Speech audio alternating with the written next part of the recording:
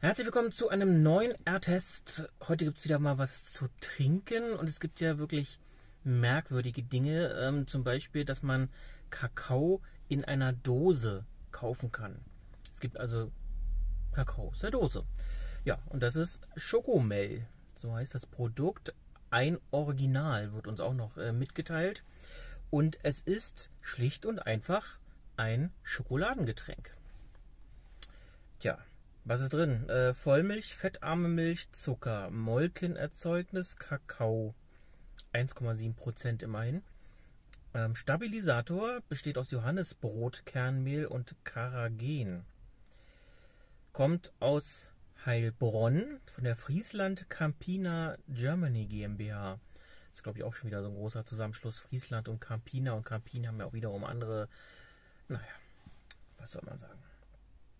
Ähm, es ist, wie man sieht, wahnsinnig viel Zucker drin. Also das ist jetzt scheinbar gesund, aber naja, 11,8 Gramm Zucker pro 100 Milliliter und ich kann sagen, das ist äh, viel mehr als in einer Cola.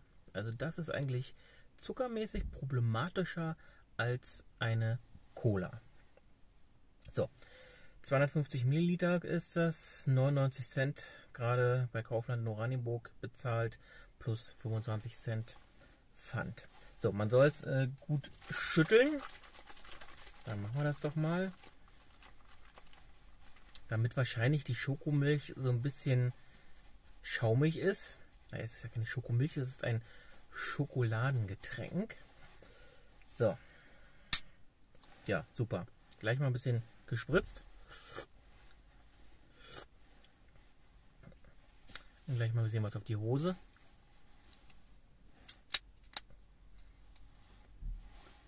Ja, und sieht man ja auch äh, dann hier, es ist schaumig. Braucht man jetzt auch nicht zeigen, es ist äh, ja wie der übliche Kakao.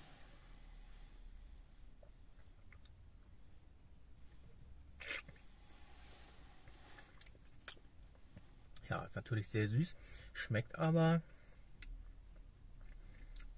relativ, also schmeckt so eine schöne, ganz angedeutete Bitternis von dem Kakao. Aber wirklich nur sehr angedeutet. Ja, und könnte tatsächlich ein bisschen weniger süß sein. So im Großen und Ganzen. Aber ansonsten, ich glaube, wenn man es gut kühlt, ist es noch ein Ticken besser. Dennoch erschließt sich mir nicht, warum, es, warum man das jetzt in Dosen verkaufen muss. Ähm, das kann man auch in so ein kleines schönes Fläschchen oder. Also ich finde Milch eine Milch ist jetzt unbedingt nicht zwingend so, also es ist ja auch nicht erfrischend. Also man hat ja sofort einen leicht klebrigen Gaumen. Also es ist jetzt weder eine Erfrischung, es ist äh, auch kein Durstlöscher. Es ist eigentlich tatsächlich, muss man ja sagen, es ist eine Süßigkeit. Ja. Aber eine ganz leckere. Bis zum nächsten Mal.